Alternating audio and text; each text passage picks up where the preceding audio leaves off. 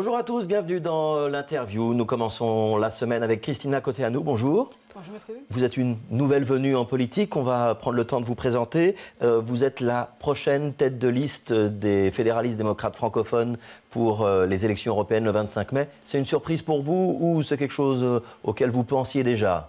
Oh, disons que voilà, j'ai eu ma conférence de presse euh, vendredi et l'information a circulé partout dans l'Europe euh, et aussi il a été euh, sur les chaînes de télévision en Roumanie pendant deux jours. Et donc, disons, j'ai l'impression que FDF, maintenant, ce n'est pas seulement un parti à vocation nationale, mais à vocation européenne. Et donc, la Belgique peut compter, disons, sur la grande sœur de l'Est, la Roumanie. Alors, vous y faites référence, vous êtes une citoyenne roumaine.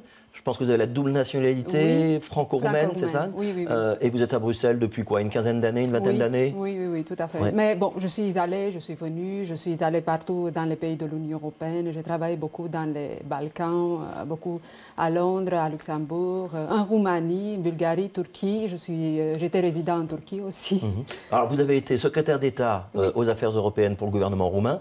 Expliquez-moi comment une citoyenne roumaine décide de devenir candidate en Belgique pour un parti belge eh bien, c'est une bonne question. Euh, premièrement, j'ai des raisons liées à la famille, à la grande famille FDF, qui est, euh, enfin, j'aime bien leurs activités, leur manière d'aborder la politique, euh, que ce soit au niveau national ou au niveau européen. Donc, pour moi, ça, ça a été le premier élément qui m'a convaincu.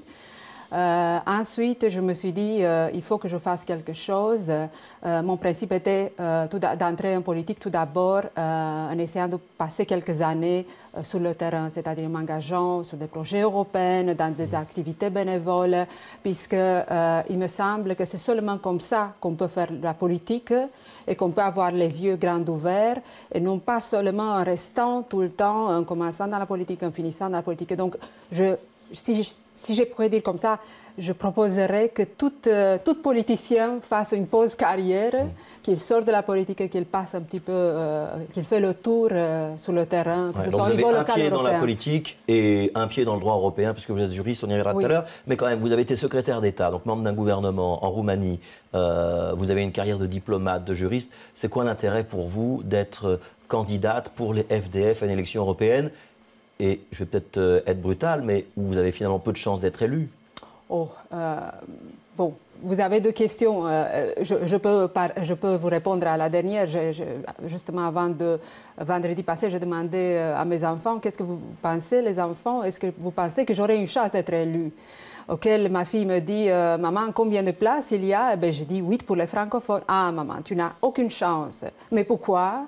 Puisque justement, il y a beaucoup de compétitions. C'est comme dans, dans, mon concours euh, sur les oiseaux. Je dis euh, Bon, mais toutefois, qu'est-ce que je dois faire si je devais faire un miracle?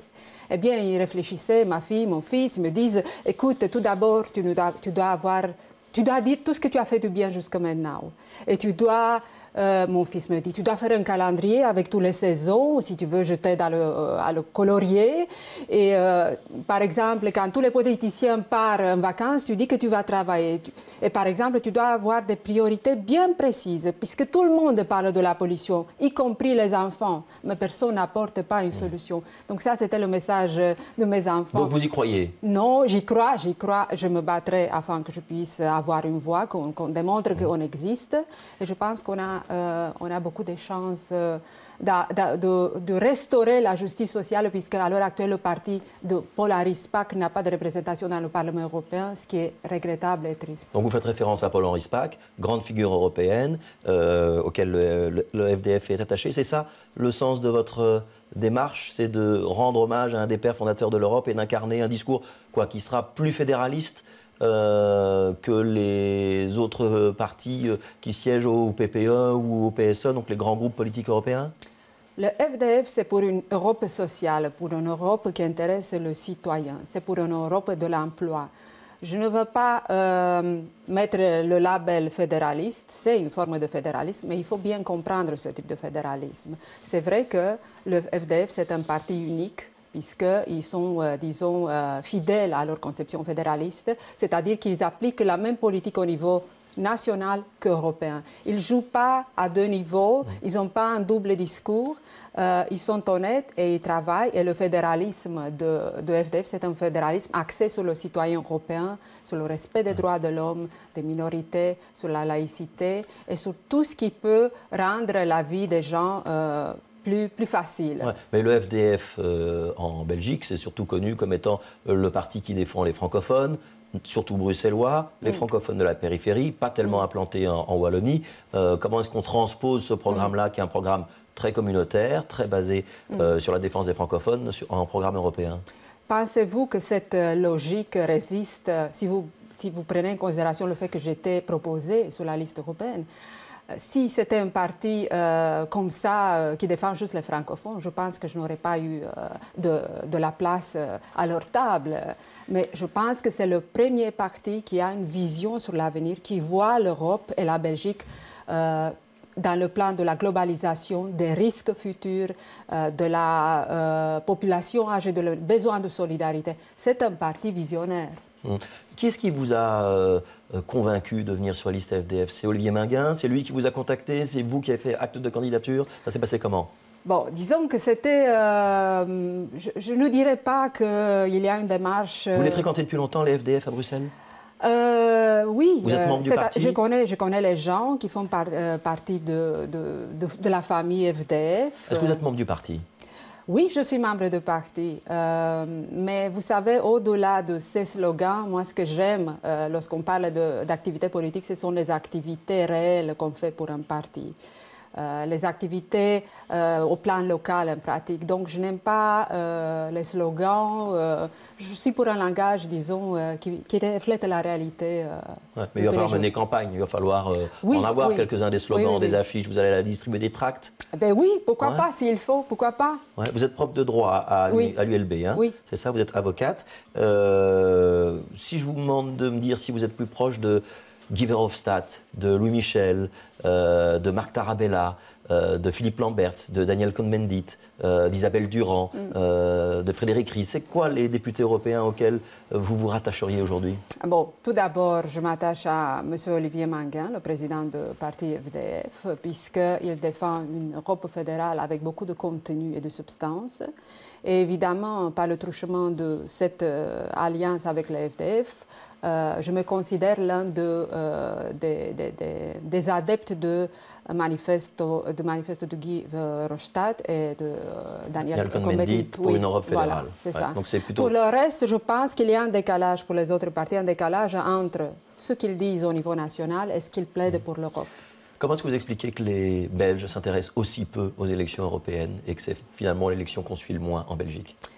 Puisqu'il y a un manque d'informations sur l'Europe, puisque les politiciens ne savent pas expliquer l'Europe, mais la, vraie Europe qu'on fait euh, avec le sac à dos, euh, que les sociétés, euh, comment dire ça, que tout ce qui se passe au niveau concret de l'Europe. L'Europe, c'est du concret. Ce n'est pas des slogans, ce n'est pas sortez des parlements, passez, sortez de vos bureaux, faites le tour de l'Europe, voir quels sont les problèmes des Européens.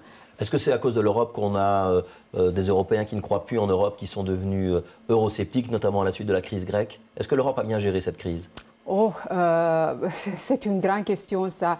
je ne dirais oui ou non. Je sais que l'Europe, c'est un processus, oui. Et même s'ils veulent faire quelque chose dans le domaine de l'union bancaire, ce n'est pas du jour au lendemain. Ça ne peut pas être une révolution. Tout cela suppose coordination. Et malheureusement, au niveau euh, maintenant, les États ont un double langage. Ils défendent toujours les intérêts nationaux. Et euh, au, mépris de la solidarité européenne. Et quand il y a un problème, c'est la faute de Bruxelles, c'est la faute de l'Europe. Oui, et il faut toujours changer, il faut, il faut se rendre compte que l'Europe a changé, qu'il faut produire, qu'il faut venir avec d'autres modèles. Et ça, c'est très important. Il faut reconnaître qu'il y a la population âgée, euh, qu'il y a le, enfin, le, chômage, euh, qu'on a besoin des villes durables. Il y a toute une problématique qu'on doit développer avec les Européens, puisque les Européens doivent s'approprier le, le, processus européen, doivent s'approprier l'Europe. On ne peut pas toujours venir avec slogan envers eux. C'est très important qu'on puisse les associer au projet européen. Alors, vous êtes candidate FDF. Est-ce que vous avez suivi ce qui s'est dit au congrès de la NVA ce week-end à Anvers? Bien sûr, parce que ça m'intéressait justement de voir quel était leur langage entre le niveau national et le niveau européen. Quand Bart de Wever propose par exemple de limiter les allocations de chômage à deux ans, ça suscite quelle réaction chez vous? Euh, Bon, je dirais pas, je ne veux pas y aller si détaillé que ça. Moi, ce qui m'a choqué un petit peu, c'est le discours, voilà, Luther, euh, euh, César et tout ça. Et de l'autre côté, je me suis dit, allez, confédéraliste, séparatiste, le matin confédéraliste, à midi séparatiste, et le soir confédéraliste et séparatiste. C'est une politique de conjoncture. Il faut quand même avoir un langage clair envers, les, les électeurs. Les, électeurs. C'est très important. Il ne faut pas croire que Bruxelles, euh, Bruxelles c'est un grand enfant, donc on doit parfois, ce n'est pas avec la maman ou avec le papa, il faut être consulté euh, d'une manière euh, claire et démocratique. Donc ce sont les Bruxellois qui doivent choisir ce qu'ils deviendront je pense que c'est les habitants de Bruxelles qui doivent choisir d'une certaine manière ce qu'ils veulent. Mais moi, ce qui m'intéressait dans son discours, c'est justement les éléments qui touchent à l'Europe fédérale, c'est-à-dire j'étais choquée du fait que bon, ils sont euh, contre la, la, comment, le passage des compétences dans le domaine fiscal au niveau de l'Union européenne, euh, bien qu'elle avait.